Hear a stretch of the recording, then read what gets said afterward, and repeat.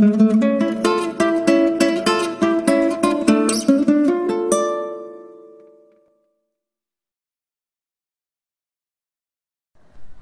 ইলেভেনের চলন এবং এই গমন যে চ্যাপ্টারটা আমাদের পড়া হচ্ছে, সেই চ্যাপ্টারটার মধ্যে আগের ক্লাসে আমরা দেখেছিলাম যে পেশির যে ভাগগুলো আছে সেগুলো সম্বন্ধে আমরা পড়েছিলাম।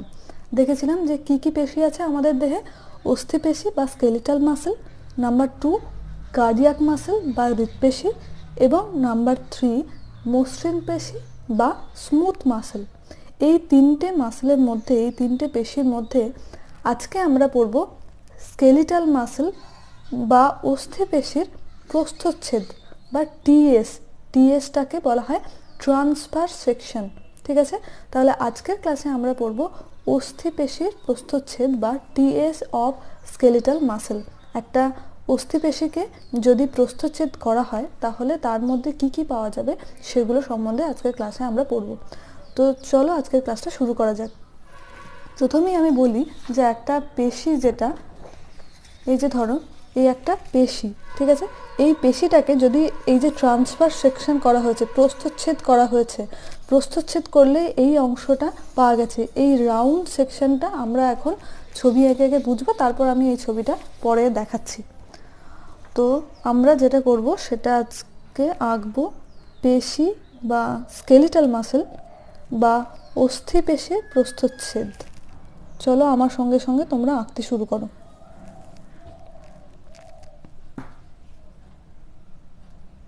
এই হচ্ছে আমি আঁকছি টোটাল মাসেল বা পেশি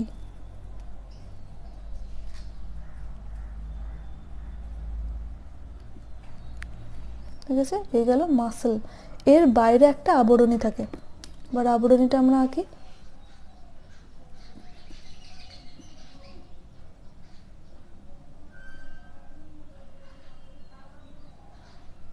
এই মাসেলের বাইরে একটা আবরণী থাকে। আমার সাথে সাথে তোমরা আঁকতে থাকো, তাহলে কীভাবে এটা আঁকতে হবে সেটা জটিল মনে হবে না। খুব সহজ মনে হবে। ঠিক আছে? এর বাইরে একটা আবরণ হলো। তাহলে আমরা যেটুকু আঁকলাম সেটুকু একটু পয়েন্টিং করে নিই। এই অংশটা আমরা এঁকেছি। আর এই অংশটা আমরা এঁকেছি, এই দুটো একটু পয়েন্টিং করে নিই। এই টোটাল জিনিসটা হচ্ছে muscle M U S C L E যেটার বাংলা আমরা জানি, যেটার বাংলা হচ্ছে পেশি। এই পেশির বাইরের আবরণটাকে বলা হয় এপিমাইসিয়াম। এপি মাই সিয়াম, ঠিক আছে? এটার বাংলা করলে কিন্তু এইভাবেই এইটা লেখা থাকে। এপি মাই সিয়াম, এইভাবেই এটা লেখা থাকে। এপিমাইসিয়ামটা কি নিয়ে গঠিত? ডেন্স কানেকটিভ টিস্যু এটা তাহলে এখানে লিখে দিই। ডেন্স কানেকটিভ টিস্যু যেটার বাংলা করলে বলা হবে ডেন্স মানে ঘন কানেকটিভ মানে সংযোগী। টিস্যু মানে তো কলা, সেটা আমরা জানি। তাহলে এই এপিমাইসিয়ামটা ডেন্স কানেকটিভ টিস্যু বা ঘন সংযোগী কলা নিয়ে গঠিত। এইটুকুনি আমাদের ক্লিয়ার হলো। এই পেশির মধ্যে কিছু মাসেল বান্ডেল থাকে। তাহলে এবার মাসেল বান্ডেলটা আঁকি কীরকম মাসেল বান্ডেলগুলো কীভাবে থাকে? এই দেখো। এইভাবে মাসেল বান্ডেল বান্ডেল আকারে এরকম করে আমার সঙ্গে সঙ্গে কিন্তু তোমরা আঁকতে থাকো। এইভাবে মাসেল বান্ডেলগুলো থাকে, ঠিক আছে? মাসেল বান্ডেলের বাইরে একটা আবরণী থাকে, যেটাকে বলা হচ্ছে আচ্ছা আগে আবরণীগুলো এঁকে নিই। এর বাইরে একটা আবরণী। এই বান্ডিলটার বাইরে একটা আবরণী। এই বান্ডিলটার বাইরে একটা আবরণী। আর এই বান্ডিলটার বাইরে একটা আবরণী। বেশ। এবার তাহলে এগুলো একটু পয়েন্টিং করে নিই।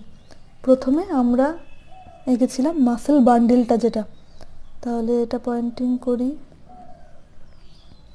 এই দেখো, আলাদা কালি দিয়ে আমি করছি কিন্তু। এই পোর্শনটা হচ্ছে muscle bundle M U S C muscle bundle muscle bundle মানে হচ্ছে যে মাসেল বান্ডিল যেটাকে বলা হচ্ছে যে পেশি নালি বান্ডিল মানে এরকম। তো এটা পেশিগুচ্ছ যেটা, অনেক পেশিগুচ্ছ নিয়ে গঠিত, এটাকে, এটা আর একটা টার্ম আছে ফেসিকলস বলা হয়। F A S C I L E S fascicles ঠিক আছে? মাসেল বান্ডিলে বলা হয় ফেসিকলসে বলা হয়। এবার আমরা পয়েন্টিং করব যেটা, সেটা হচ্ছে এই মাসেল বান্ডিলের বাইরের আবরণটা, অর্থাৎ এই অংশটা। ঠিক বুঝতে পারছ তোমরা? মাসেল বান্ডেলের যে বাইরের আবরণে, দেখো এটা অন্য কালার দিয়ে গেছে। মাসেল বান্ডেলের বাইরের আবরণীকে বলা হয় পেরিমাইসিয়াম পেরিমাইসিয়াম ঠিক আছে? এটাকে বাংলা করলে এই পেরিমাইসিয়ামই লেখা হয় এইভাবে। পেরিমাইসিয়াম। ঠিক আছে? এতটা পর্যন্ত হলো। তাহলে অনেকগুলো মাসেল বান্ডেল নিয়ে মাসেল গঠিত হলো। এবার আমরা চলে আসি, দেখো মাসেল বান্ডিলের ভিতরে আবার থাকে মাসেল ফাইবার দেখো কীভাবে থাকে।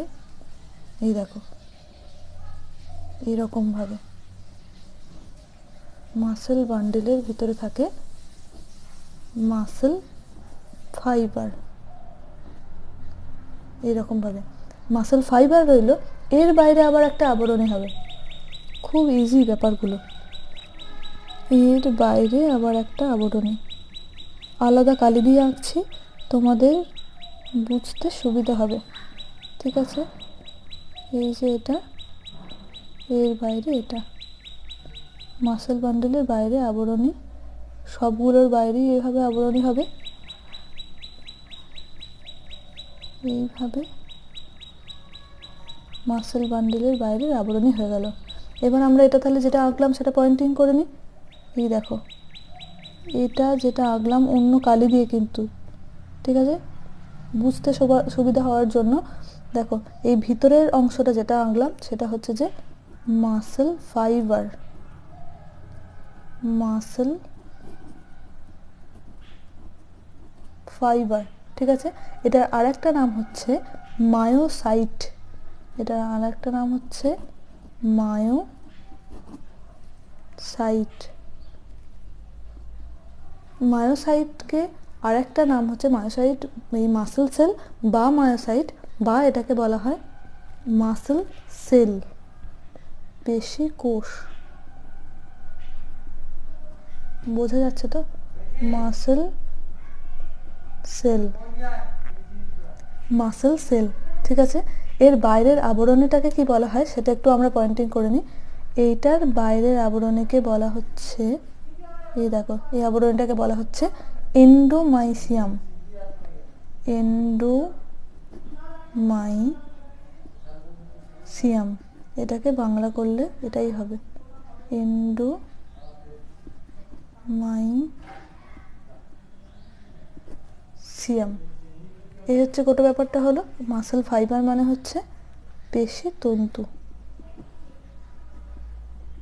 পেশি তন্তু, মাসেল সেল, পেশি কোষ। আমরা আগের দিন বলেছিলাম আগের ক্লাসে যে পেশিটা পেশি তন্তু বা পেশি কোষ নিয়ে গঠিত। ঠিক আছে? তাহলে তাহলে আমরা এখান থেকে এই টোটাল ছবিটা থেকে কি বলতে পারি? যে কতগুলো মাসেল ফাইবার নিয়ে গঠিত মাসেল বান্ডেল কতগুলো মাসেল বান্ডিল নিয়ে আবার গঠিত হচ্ছে পেশি বা মাসেলটা ঠিক আছে? এবার দেখো, এই যে মাসেল বান্ডেল যেগুলো আছে, তার মাঝখানে এগুলো কিছু কোলাজেন টিস্যু দিয়ে পরস্পরের সঙ্গে কিন্তু যুক্ত থাকে। একটা বান্ডেল আর একটার সঙ্গে কিছু কোলাজেন টিস্যু কোলাজেন কলা দিয়ে এভাবে আটকানো অবস্থায়, যুক্ত অবস্থায় থাকে। ঠিক আছে? তাহলে আমরা এটা একটু পয়েন্টিং করে নিই। এই জিনিসটাকে বলা হচ্ছে, এই জিনিসটাকে বলা হচ্ছে কোলাজেন টিস্যু। এটার নাম হচ্ছে fascia. F A S C I A এটাকে বলা হচ্ছে কি? Common common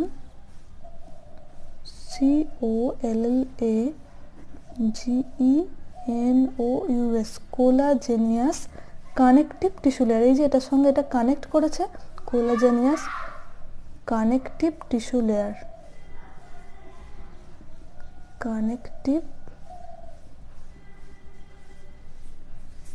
tissue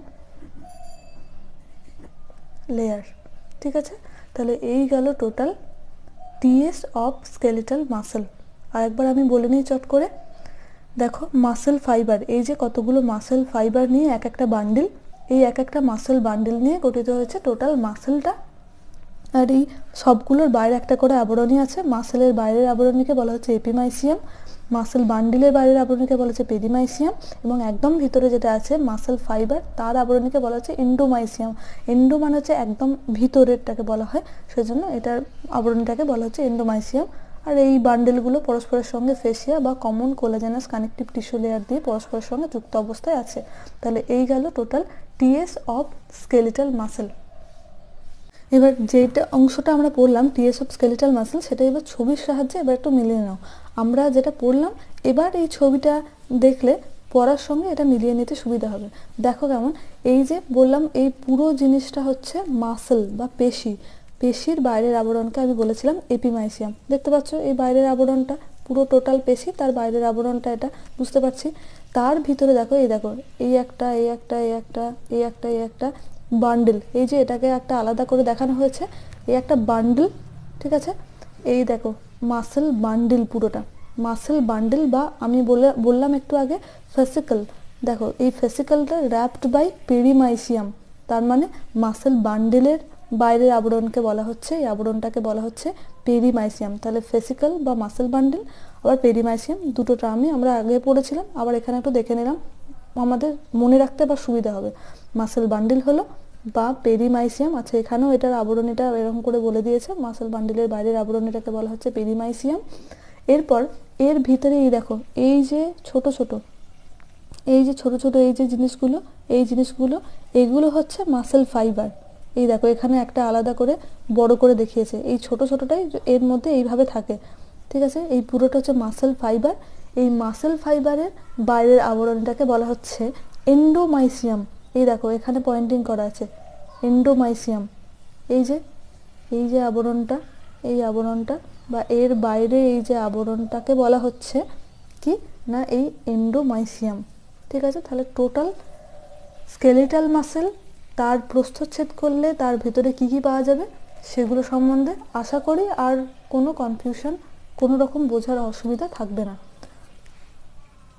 আজকে আমরা শুধু এই টিএস অফ স্কেলিটাল মাসেল বা অস্থি পেশির প্রস্থচ্ছেদ সম্পর্কে পড়লাম।